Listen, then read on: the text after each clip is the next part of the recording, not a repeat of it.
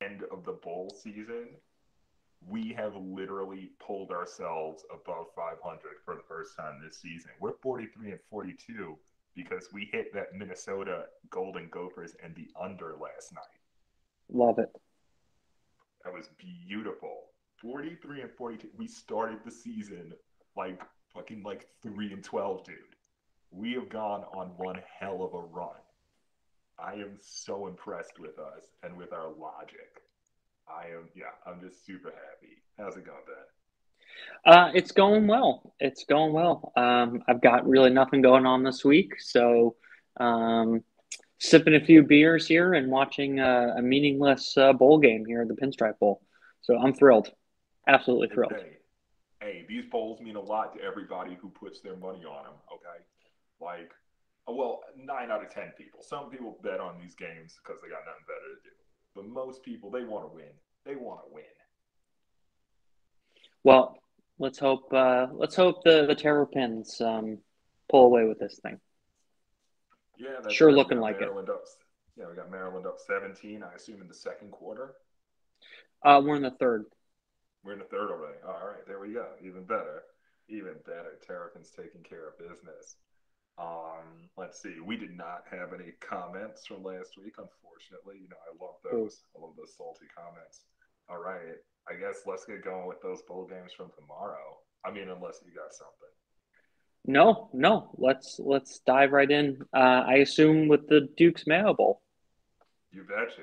The Duke's Mayo Bowl, rotation 255 256. South Carolina catching 10 against UNC on a total of about 57 or 58, depending on where you look. So, so Howell is going to play this game, Yup. right? Yeah, I'm not confusing that. So, yeah, I guess I could only lay it. Um, as I recall, this was Mack Brown's first game as coach of UNC, and he beat South Carolina outright as like an 11 point dog or some shit. And I see no reason for the score to not be the same this time.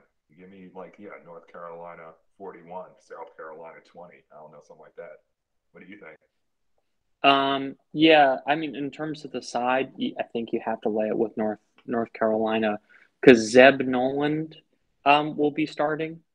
Um, who is their like third string uh, for South Carolina is their third string QB. Um, the games that he's won um, as the starter were, uh, let's look at this real quick. Uh, I believe it was East Carolina, uh, where they eked out a win, twenty to seventeen, and Vanderbilt, where they eked out a win, uh, twenty-one to, to twenty. So this guy Zeb Noland, he, he's not very good. Okay, so if, if their starter was in, I think his name's Josh Brown. Um, I did not watch any South Carolina this year, um, even in the games against Florida, even in that game against Florida.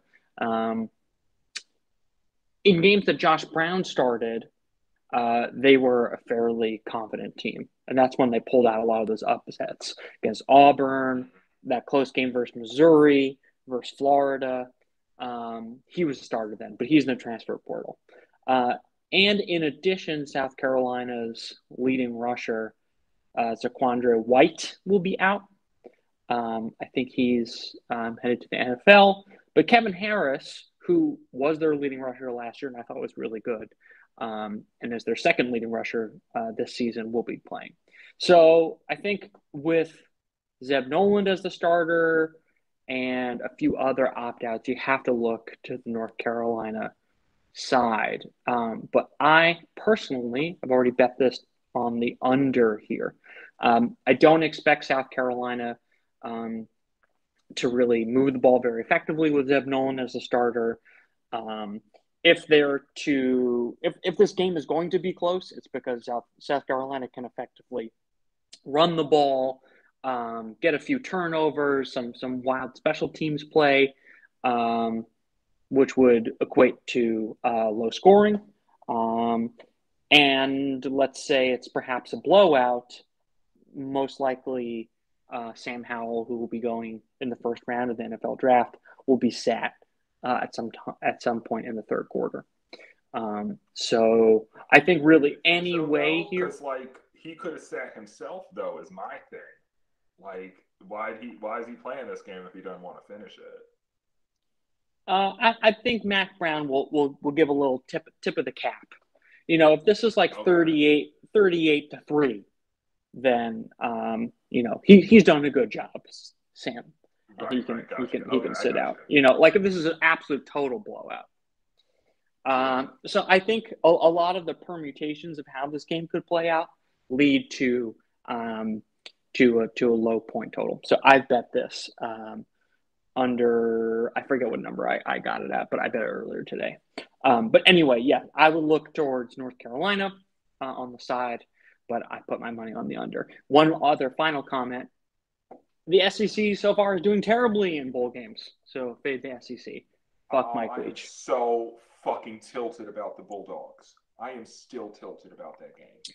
I Wow, we're completely the wrong side. So on the wrong side. Like, Ugh. so wrong. It So wrong. The exact reverse opposite of everything that I thought it was going to be. And I, I'll tell you this: never again will I bet a game solely based on like coaching stability and motivation. Never again, because Oh. everything about that game was set up for Bulldogs beatdown, and like these plays were being called at random. The defense wouldn't tackle. It was a joke. Oh They God. announced- What else they announced right- lose? They they announced right before kickoff um, that all the starting defensive linemen and D backs had COVID, so it was only the linebacking uh, starters were in were in the game. well, let that be a lesson. All right, then maybe yeah, maybe there was a lot to that. I mean, they were missing a lot of guys on defense, but I mean, the defensive plays they were being asked to make were not over the top. And actually, the defense played fine because the defense held um freaking Tech on like 13 points for the longest time. Like, so I mean, it was really down the Leach's offense that was total garbage. Yeah, terrible. Um, It's just and yeah. SEC SEC teams have played. Missouri covered, but Missouri's right. lost to Army. Lost. Auburn Florida, lost, right? Florida lost to UCF. Mm-hmm. Outright loses to you. The Yeah. fucking Malzahn. I told you about Malzahn. Okay, so uh, I think uh, what do you what do you want to give out? Yeah. Do you want to give So out let's- uh, let's the ten? both, dude. Okay, Let's just lay. Yeah, let's just lay it in the under. Like fuck it. Okay. Because, and honestly, intrepid people will make the same parlay that we did with the Gophers in the under last night, and they will feast. Yeah, this is going to be a fucking beatdown. I mean, it might sneak over because UNC scored too much. That's my only fear. Like, but but yeah, South Carolina's got nothing. Um, total 58, right? So that implies 34-24 final. Yeah, 38 to 3 sounds more accurate. Um, yeah, all right. Um, up. Th- we might be in an emergency situation here. Okay, never mind. I I thought ESPN really screwed me, and all of a sudden changed to the uh to, to an MLS game for whatever reason. Um, I don't even think MLS is playing right now, but we're we're, we're on track. Never mind. Never mind. Every no no problems here. Pinstripe I'm game, to tell you a secret. Pinstripe Bowl is is moving ahead. I don't think MLS ever stops because I think they've started doing trying to be like European soccer. So when they don't have the season, they like have random cups and tournaments. Oh, gross. Okay, And let's let's then- move on. Yeah. Anyway, rolling on ahead, rotation two five seven two five eight. The Trans Perfect Music City Bowl. I don't think they should have named their company TransPerfect. I don't think they are evoking what they mean to evoke with that name. What do you think they do? I'm going to tell you, it is not helping people with bottom surgery. Okay, whatever it is, it's not that, and that is the first thing I thought they did when I saw the Now, um, Tennessee- it's a translation. It's a translation uh, tool, live Oh translation tool. Yeah. It always kills me when someone tries to start a narrowcast app to take on something Google already does. Like, good luck with that. Yeah. Um, Tennessee laying six to Purdue on a total of 64 and a half to 65 and a half, all over the place. Um, this line seems a little inflated, but I still would only lay it. I don't know. Do you think Purdue could win this game? Um, I'm not sure about win, but I bet on Purdue. I kind of think Really? Tennessee might be frauds. Um, I kind but of, I kind of hear that, but it's like their offensive line should still take care of business against the Boilermakers. Karlaftis isn't even playing, right? yeah, he's out, and some of the mocks, some of the mocks have him going to the G-men. Um, any, anywho, Oh, I want a any- black pass rusher, not to be racist. what I want black pass rushers. What about the Bosas? The Bosas are doing well. JJ did well for for many years. Come on, A while. I guess the you know the T- the TJ is quite good too. Yeah, no, Watt the younger is influential. I mean, oh, all right, maybe. Ah, jeez. I'd And- rather take Clayton Tune. Um, oof. He's. I think he's staying anyway. Uh, so so Tennessee. Okay. So their wins.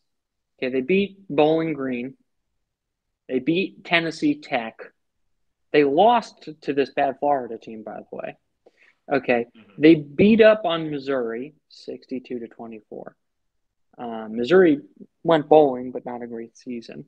Uh, they beat South Carolina, forty-five to twenty. Okay, bowling team team that's bowling but but not great.